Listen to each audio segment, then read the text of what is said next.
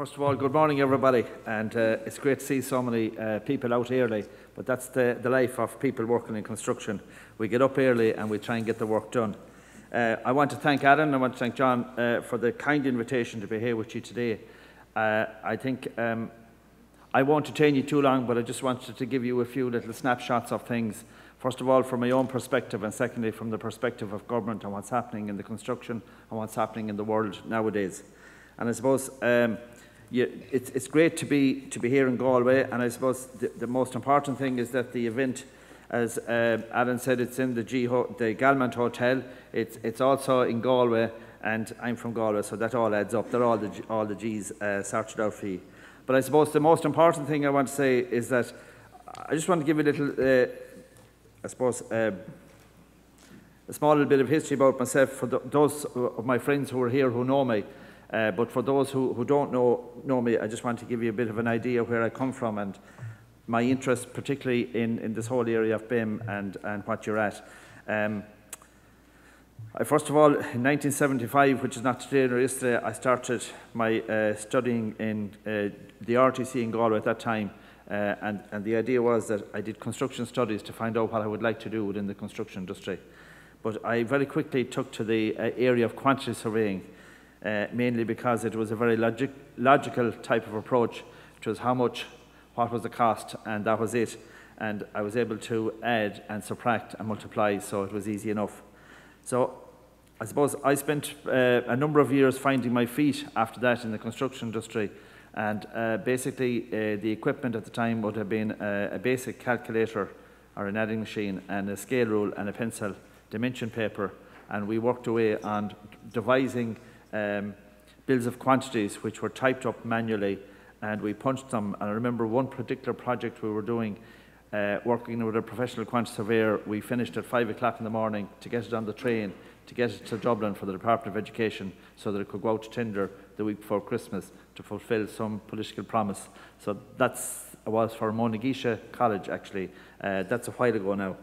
So I worked in the private sector for a long number of years, and uh, then in 2007, I had uh, some divine inspiration where I ended up coming back to uh, the RTC, or GMIT as it had become known, as a lecturer in quantity surveying. And there I met with a, a huge amount of colleagues who were like minded uh, in their, uh, I suppose, quest to make sure that students coming out of college were prepared for industry.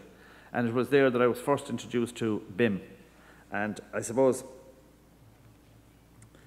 it is ironic that in um, January or February of 2016, I got elected to the Dáil, and I spent my first year as Minister for the Minister of State with responsibility for the Office of Public Works, uh, which was a, a, beautiful fit for me coming from, that, that, from the background I had.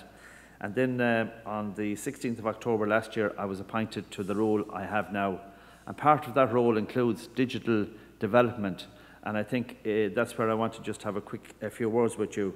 Um, at the moment, I suppose that uh, BIM has been the single most uh, innovative uh, development in the construction industry and will continue to be uh, the innovator and the cutting edge um, process that will bring the construction industry along the next 20 to 30 years. And I suppose two things that come to mind when I talk about government and we talk about where we're at. Um, in order to achieve uh, what needs to be achieved in terms of digitalisation, one of the things we need to have is the infrastructure. And when I talk about the infrastructure, I talk about the National Development Plan. And our National Development Plan, our, our, sorry, our National Development Plan, and then on top of that, our National Broadband Plan. And if we are to succeed uh, for the people of Ireland, we need to introduce and sign up the contract with the uh, provider for the national uh, broadband. Because there are 550,000 premises, including small businesses, farmers, self-employed people, who do not have the, uh, the necessary uh, uh, equipment and, and broadband to actually be able to work with BIM. And I think in, in order to ensure that we can do that and do it in rem work remotely, it is an incumbent on the government and on us to provide that.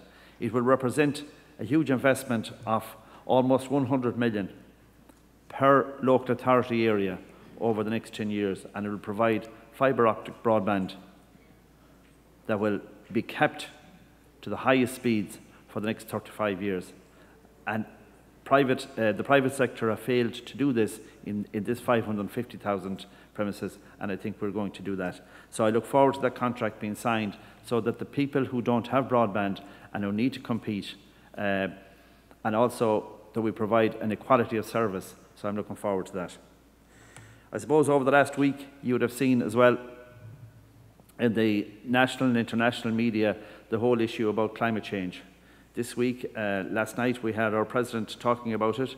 Uh, earlier in the week, we had the young girl, um, um, Ms. Thunberg, talking about it as well, about what is demanded of us in the world nowadays in terms of climate action. Our government have um, launched the All of Government Action Plan for Climate Change, and it will have far-reaching consequences for everybody, for individuals, for um, local authorities, for business, and also for government. And I suppose it isn't a challenge, but I think it's also, there's a lot of potential in it. Uh, the idea that we can continue on the way we're continuing uh, is, is, no longer, um, is no longer acceptable. You see the stats where we have all of the uh, changes that are happening to the ice, to the sea levels, and when I look at what we are investing in flood defences at the moment in this country, and I think, are they actually designed strong enough to take what will be coming in terms of the rising uh, sea levels? It's very, very, very interesting, very, uh, I suppose, worrying that we have such a, a fast pace of uh, progress. So I think that's why uh, BIM and all that goes with BIM is something that will provide for us uh, tools to make sure that our buildings of the future will be designed in a way that uh, will be able to uh, be resilient and also make sure that they're built in a way that we um, take account of new materials and all the innovation that's coming with that. Um, I suppose I go back to the fact that when I was a quantity surveyor uh, and practicing, um, some of the things that, that I used to, uh, I suppose, um,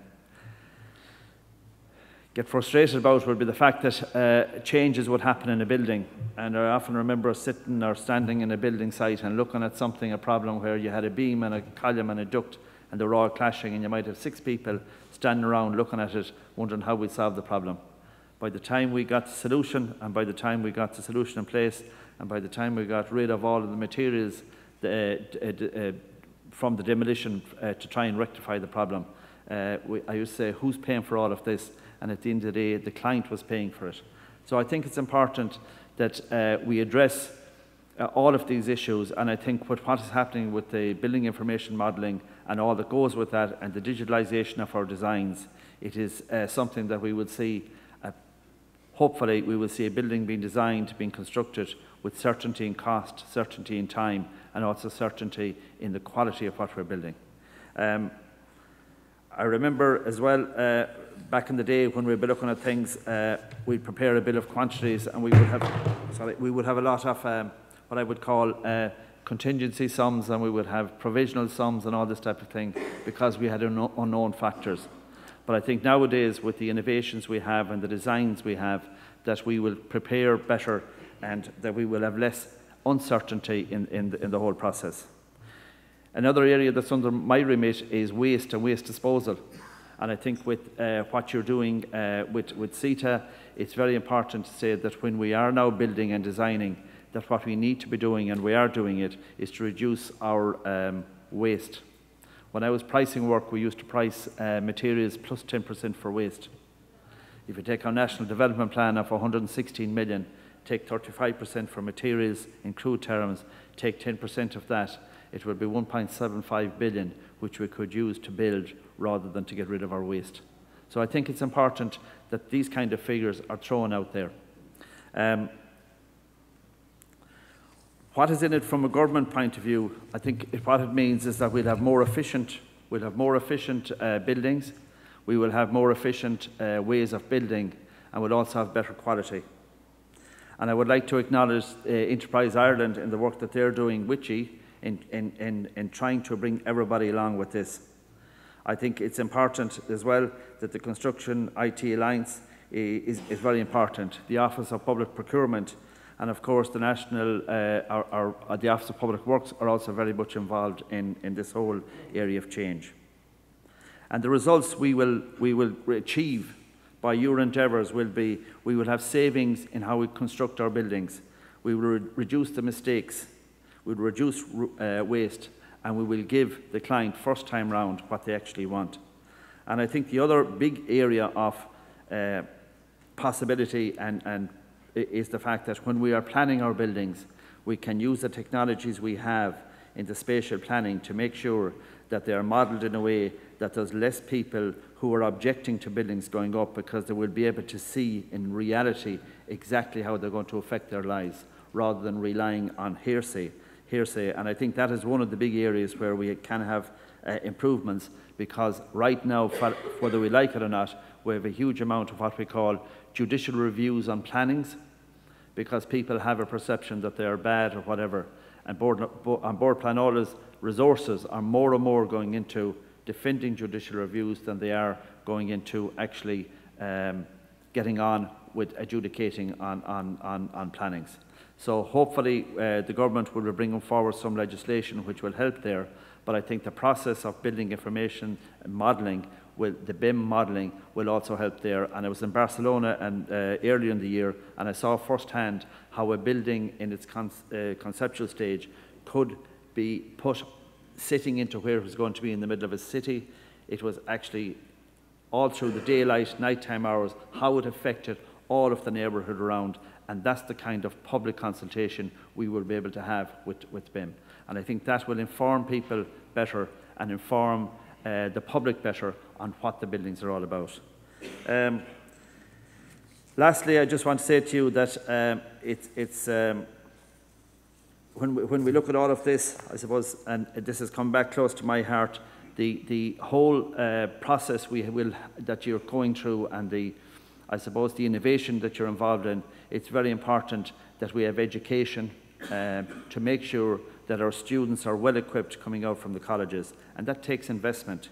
And I think, as well as that, we need to have uh, more government investment in third level education and, and, and in second level education to make sure that the equipment is there, the, uh, uh, so that people can, students can work on it, and also that staff are trained. Because what's happening at the moment is that we're moving so fast with the digital age that everybody is, is uh, scrambling to keep up. The other uh, thing is that the collaboration between government and all stakeholders is very important to maximise the potential of, what, of the great work that you are doing. And I think the other thing we, we, what you are doing is looking at international best practice to make sure that we're not repeating something that has already been done someplace else and that we learn from the mistakes and the lessons of others. There are some challenges in all of this as well. And I suppose going back to the uh, small business people and uh, smaller uh, consultancy practices and smaller building contractors. There is an investment required from all of these to make sure that, the, the, that they are up to speed with all of this technology. And I think we have to take account of that as well. And I, I do believe that if students are trained and if they come out with the, with the right uh, approach to it, that we can provide the leadership to make sure that everybody moves together and that we leave nobody behind in this digital age and especially in construction. I want to wish you well this morning uh, and for the rest of the day because, you know, and I said this at another conference just today that when, when you have a gathering like you have today, you have people who are going to meet one another. I've met so many people coming in there that I knew, former students and all of this, and I hadn't seen them before. I might be, uh, in, in a number of years. I might have been emailing them or whatever. But I think the important thing is together to meet, to actually uh, eyeball one another, to discuss what the issues are, to share your, your experiences. And I think the best way of doing that is by having a gathering like this. And also, uh, it's important as well to have a bit of fun when you gather. So I wish you well for the day. Thank you very much.